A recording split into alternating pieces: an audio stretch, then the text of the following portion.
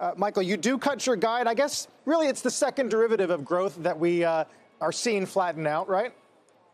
That's right. That's accurate. Uh, what happens to your forecast? Where'd you take your numbers? Well, we took our numbers down. Um, you know, our our outlook for the coming quarter is is in line with the high end of the company's guidance. I think Julia did a good job of, of laying out some of those drivers there and some of the feedback we got from the company. I think there's a bigger issue right now, and and really it's this kind of intersection of of concern uh, toward growth stocks overall uh, and expectations that are embedded in the stocks. And so, if you look at the changes we made in our model beyond the second quarter, we really did take a more conservative view of, of long term growth. I think that investors are already there. I think that the analyst community has been a little slower to understand that some of these challenges are going to be sustained. Uh, and I have some concern about stories that are considered reacceleration stories as we go through the year. Uh, there is a lot of uncertainty. I felt like Snap was very transparent about it. I think the stock is still a good value here. I think it's a good long idea, but I think we're in a transition period where people uh, need to start to digest that reacceleration may be challenging. Well, give me some examples of where you think reacceleration is still baked in. Oh, I think look, look at stocks um, uh, across the board. Um, I'll give you an example of something that came out and uh, just this week would be Netflix and talking about uh, user growth uh, or member growth reaccelerating as you get out in the future.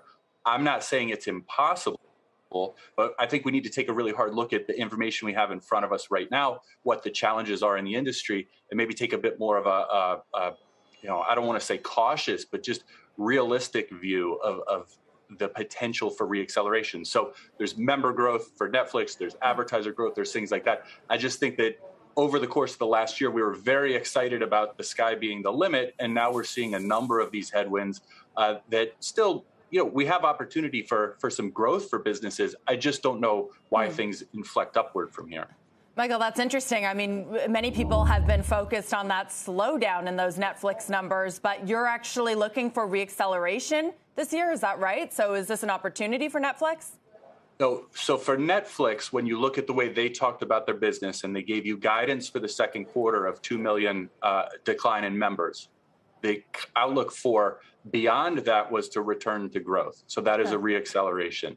Um, I think that so, they will return to growth in the back half of the year. But when I look beyond 2022, huh. do I think that the pace of growth, what they see in the back half of this year, will accelerate further beyond that? I, you know, I'm I'm harder pressed to give you reasons why that will reaccelerate. So, are people too negative on streaming right now? Uh, I mean, we've seen a number of the stocks in the space just get beaten down. But if you're talking about a reacceleration later this year and into the future, what does that mean for content spend for the business models, which a lot of folks have just decided it's not a good one recently?